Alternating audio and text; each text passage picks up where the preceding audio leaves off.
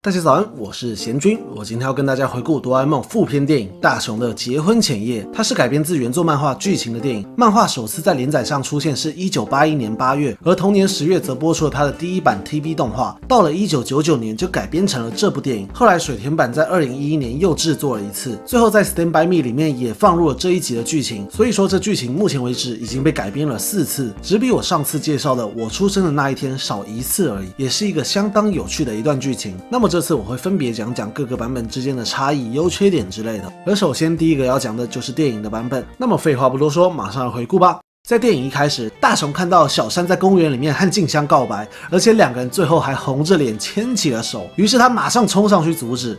不过他们两个人只是在练习班上话剧表演，大雄只好羞愧的离开。但对他来说，这两个人表现已经有点不像是演技了。所以他回到家跟哆啦 A 梦发牢骚，哆啦 A 梦就表示，反正静香会跟你结婚呢。大雄表示，你你确定？你真的确定吗？哆啦 A 梦就说。好啦好啦，我们去结婚典礼确认就好啦。一抵达未来，他马上看到大雄从计程车下来，慌张的跑进大楼，来不及搭上电梯，就直接毫不迟疑的往楼梯上方不断迈步。但是打开了会场的门，里面却是别人的婚礼。原来婚礼是在明天才对。接着一直跟着他的计程车司机表示他还没有付钱。大雄表示，哈哈，我还真是不小心，哈哈哈，我忘了带钱包了。还好静香他们一家人现在也在这栋大楼里。静香正在最后一次试穿婚纱还是什么的吧？呃，我不太懂。结婚要做的事了。总之，他们看到遇到麻烦的大雄，所以静香就先帮他付了车钱。OK，结婚前一天，我们可爱的新郎就先欠了新娘两千五百元，真是个好预兆啊！后来静香爸妈先回家了，大雄和静香两个人一起散散步。这时，他们看到马路对面有一只猫咪，说时迟那时快，这只猫一个开心的跳到马路上面，刚好一台货车快速的行驶而来，大雄也慌忙冲上去抢救，还好反应神速的哆啦 A 梦一个时间暂停，就避免了这次的悲剧。得救之后，大雄从猫咪的项圈看到。猫咪的家就在附近，于是他们两人一起把猫送过去。到了人家的门口，旁边邻居却说他们今天搬家了，而且要搬到美国去，好像是四点的飞机。这边大雄判断到机场要两个小时，但是在一个半小时就四点了，可是也只能尝试了。结果跑了一下，他就跌倒在地。而他这么拼命的原因，是因为他认为不管是人还是动物，和他的家人分离都是很寂寞的。注意这句话非常漂亮点出了静香结婚后和家人的分离，还有这个时间点的大雄已经经历了他和哆啦。梦这个家人的分离，所以他才很能体会这种感觉。再加上猫咪跟家人分离的情况，跟他的情况也是差不多，对吧？就算你要说哆啦 A 梦是狸猫，也有个猫字吧。这时胖虎他们刚好开车路过，大雄一个直接把静香抱上车。哇，这应该是我看到大雄最 man 的一幕了吧？胖虎他们一听了事情的缘由，马上表示包在我们身上，油门催了就往奇妙进入疯狂加速。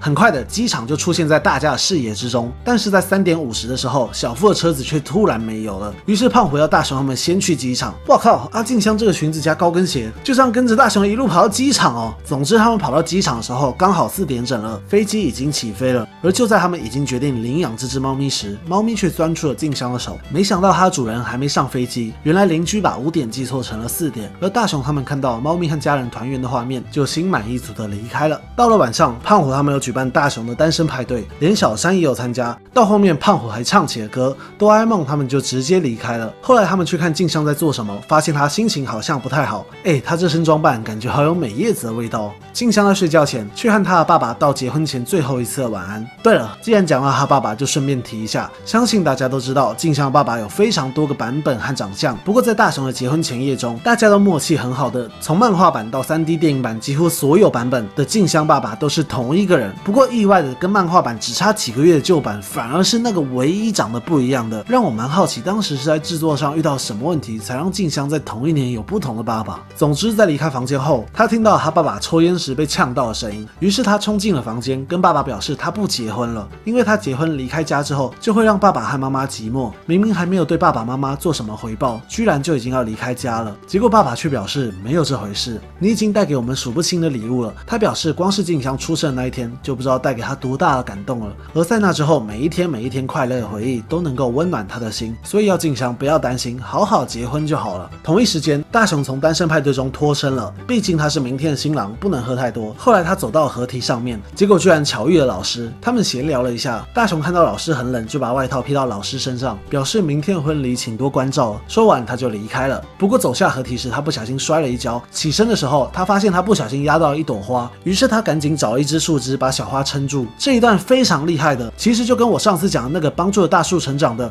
我出生的那一天的状状况有点像，展现了大雄从小到大都没有变，而且也代表着在导演渡边部的心中有着很明确大雄的角色核心，才能在这两部隔了三年的电影中还能看到大雄在个性上连贯之处。我个人觉得相当有趣，而且这一段更是加深了静香爸爸所说的“大雄是个能期望他人的幸福，也能为他人的不幸伤心的人”这句话。最后听完这些话，大雄和哆啦 A 梦回去哭着和静香表示一定会带给他幸福。到了这边，电影就漂亮的收尾了。而片尾曲之中还有大雄静香婚礼的画面，而正片中没有登场的未来大雄爸妈也在此登场了。如果没有搞错，小猪的背影应该也出现在了婚礼之中，其他人我就不太确定是谁了。最后就像我出生的那一天一样，合体的小花在大雄的帮助下健健康康成长了。好啦，这就是副片电影版本的大雄的结婚前夜，依旧是非常强而有力的一集。那么现在该来讲讲其他版本的差异了。首先是一九八一年的版本，也是没什么大改动，最接近原作漫画版本。他一开始去未来前的剧情是一样的，不过大雄哭着回家时，先跟哆啦 A 梦来了个莫名的动作场面，这个应该算是旧版动画的特产。旧版动画里面有很多这种好笑的画面，我个人非常喜欢。后来到未来有个小细节是，他们家的位置在未来变成了公共厕所，这细节是只有旧版和 Stand by Me 才有的。后来大雄跟漫画版一样是自己开车来，得知了婚礼是在隔天后，就直接回家了。而他们现在住在一栋公寓里面，奇怪，本来他们有自己的房子，哎，怎么住一住房子没了？我带着这个疑问在网络上查了一下，才发现原来他们的房子是用租的，哎，我靠，完全颠覆我从小对大雄家的认知，哎。总之呢，大雄回到家里，而所有版本中也只有这个版本的大雄爸爸头发秃了。接着后面剧情就跟原作一样，大雄参加单身派对后就没有他的剧情了。比较值得一提的就是静香妈妈，并不是那个长得很像静香的样子。话虽如此，静香爸爸的回忆里面，她却又很漂亮，所以应该是一个小小的岁月上的细节吧。总之，旧版做了中规中矩的改编，而 Stand by Me 的版本也是基本照搬原作，所以也没什么好讲的。但是呢，到了水田版的时候，他们也像电影版在剧情上做了非常大幅度的改动。在一开始，静香他们解开了大雄的误会后，大雄还和静香一起走了一段路。这时，大雄还抱怨小山自己举手说要当王子，他爱出风头什么的，结果被静香劝说不要对小山有偏见。后来，静香的爸爸经过，他就跟他爸走掉了。之后，大雄他们在会场门口先看到了本日名单没有大雄的名字，才看到了下了计程车的未来大雄。然后他们为了紧跟在他后面，反而从旋转门超过了他。结果他们就这样。直直的站在未来大雄眼前，未来大雄居然完全没有发现他们。不是哆啦 A 梦这么大一只站在你面前，你能没看到？重点是这边大雄还愣了几秒钟，既然没有看到，那为什么要有这样的演出啊？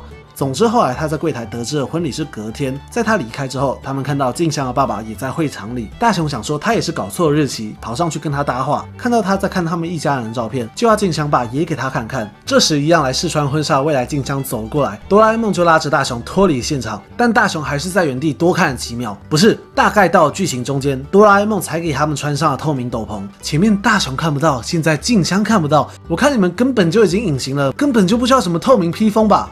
后来静香一家人离开后，他们就看到未来大雄居然在垃圾桶里面。后来笨手笨脚离开垃圾桶后，剧情就跟原本的差不多。他回到家之后再出发去单身派对，不过这次路上他遇到静香和他爸爸。原来静香用丢了他爸爸送他的耳环。听到这件事，大雄就表示：“哎，我还有个派对要去，先这样，爸爸就离开了。”路上他还踩到一只狗。哎，等一下，他爸还有帮你说好话剧情哎，为什么要降低他的说服力啊？总之，在夸奖剧情之后，大雄晚上九点从派对离开，接着就进入了新版的吹捧环节。小夫看到小学话剧表演的照片，说当时这出戏因为大雄演到跌倒，结果演出整个大混乱。但小山就表示不对，其实当时是因为静香忘词了，大雄就故意跌倒，引发混乱。哎呀，所以我才赢不了大雄啊！接着大雄一个人家太阳都找不到，我这边一个天黑黑找到耳环给你看。他把耳环从楼下丢给了静香，然后大喊说：“我一定会让你幸福。”最后喊到。把旁边的街坊邻居全部吵醒，这一集就结束在这边了。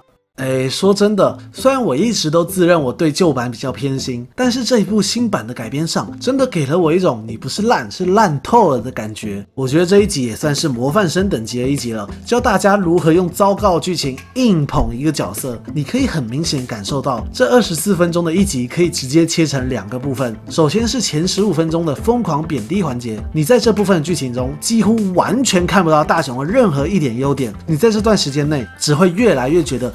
静香真的是选错结婚对象了。首先一开始，大雄居然在静香面前数落小山，而且被静香提醒了之后，他也没有反省什么的，而是觉得完了，静香要嫁给小山了。这之后整整哭了三分钟的剧情，之后也不知道为什么一定要让未来的大雄各种在平地上跌倒，还要加他掉进垃圾桶里的桥段。他回到家里还被妈妈骂，这是所有版本中他唯一被妈妈骂的版本。再来就是最夸张的，我珍贵的耳环用丢了，知道了，那我要去派对了。问号，不对。对吧，大哥，一点表示也没有，哎，就不能打个电话说我会晚点到，至少留下来帮忙找一下吗？电影版的大雄是，虽然我等一下有婚前的二次会议，但我就算摔到流鼻血，也要帮这只小猫跟他的家人团圆这样子，哎，后面的派对中也是让大雄各种丑态尽出，就连大雄自己也说。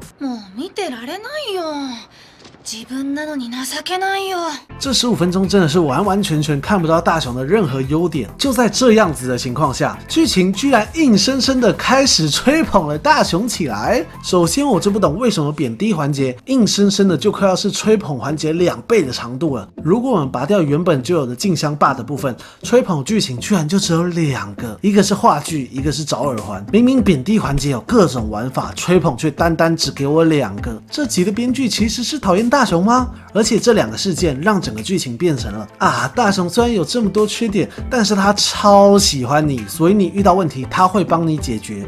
就只是这样，你无法在这一集中看到大雄的其他优点。你知道电影版一开始的剧情还是从大雄扶老太太过马路开始的，你可以在电影版的小细节中注意到大雄的善良之处，可是新版完全没有。不知道他是不是想要搞一个反转剧情，呈现出这个人虽然看起来很糟，但其实他很棒，结果看起来却像这个人虽然很烂，可是他超喜欢你，所以你们应该要结婚这样的感觉。总之，新版算是我个人超不推荐的版本，基本上感受不到剧情上的用心，而且也感受不到大家长大之后的变化。我觉得电影版其中一个有趣之处，就是大家长大之后互动的方式也改变了。你可以看到他们会开玩笑般的互损对方，甚至胖虎唱歌时，大雄还会开玩笑的喊说别唱了。你可以明显感受到他们是很亲密的朋友的感觉。总之呢，这版本我真的是力推电影版，它加了非常多丰富，而且加深了未来大雄刻画的剧因为其实就连原作漫画也没有多描写。未来大雄部分剧情重点完全是在静香和他爸爸的对话。电影版不但可以看到大雄的成长，还能感受到他在和哆啦 A 梦分别之后心境上的变化。个人认为真的是非常值得一看的一集。好了，那这次影片就到这里了。如果喜欢我的影片的话，可以帮我按个喜欢，也可以帮我按个订阅。那我们有机会再见啦，拜拜。